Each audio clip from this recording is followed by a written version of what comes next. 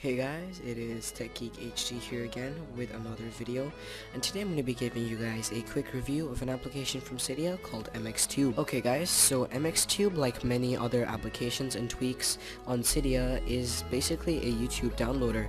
Now this does also let you manage your YouTube videos, the ones that you've actually downloaded and I do know that while I do like making my content and giving out to you guys, I do really really love the content that I do see on YouTube, um, mine is well as, as well as a whole bunch of other people's, especially lots of really big um, technology reviewers and stuff like that, as well as a lot of skateboarders, uh, my personal favorite being Paul Rodriguez Jr. Um, but anyway, getting back to the point of this video, MXTube has a very clean and easy to use layout. It does have only two buttons at the top, um, the one on the left being an edit button which lets you uh, delete uh, the, some videos that you've downloaded and the one on the right being a little magnifying glass which is basically your search button. Now if you hit that, all you guys have to do after hitting it is really type in the name of the video or somebody who makes the videos.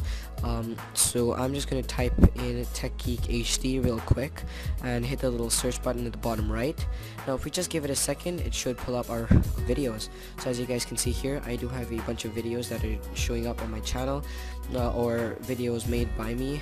Um, here is a MacBook Air review uh, that I made. And what you guys can do is when you scroll down, you do have a couple of options here.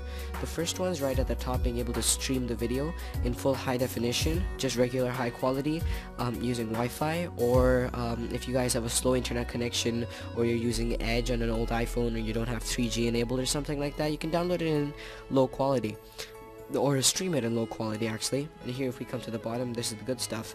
You can actually download the video and store it on your device. Again in high definition regular high quality or low quality. Now this does work very very well and does download quite nicely uh, as soon as you hit the little download button you do get a check mark on the option that you chose as well as you get this little notification here saying that our download has been started and that you can close the search to view its progress. Now I'm just gonna hit OK and close and as you guys can see it is downloading right up top um, so I have actually downloaded a couple of videos in advance and really the download speed just completely depends on your internet connection speed. Now uh, mine over here, uh, my download speed is about two and a half megabits per second which is reasonable.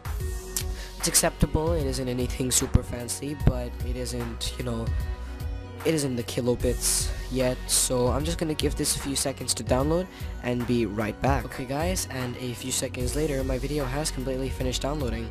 So what I'm actually gonna do is take it off my little dock here and move it to the side and actually start playing the video.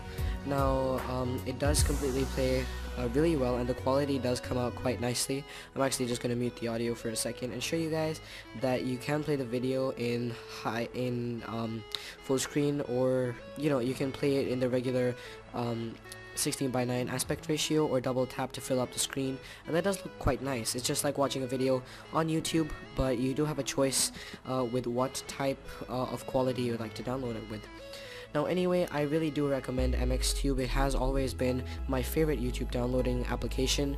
Um, and then as soon as I install or, or as soon as I jailbreak one of my devices, this is pretty much the, one of the first applications that I go ahead and install, besides for a couple of really important tweaks.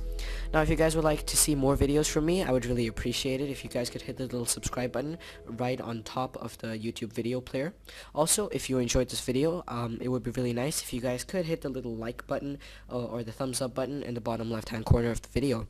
Again guys, uh, this was Tech Geek HD and I really do hope you found this video informative and if it helps you guys out, um, you know, I'd really like to see your support and um, I'll be waiting for you guys with a couple of new videos. Again, this is TekGeekHD, and thank you very much for watching this video. I'll see you guys in the next one. Peace.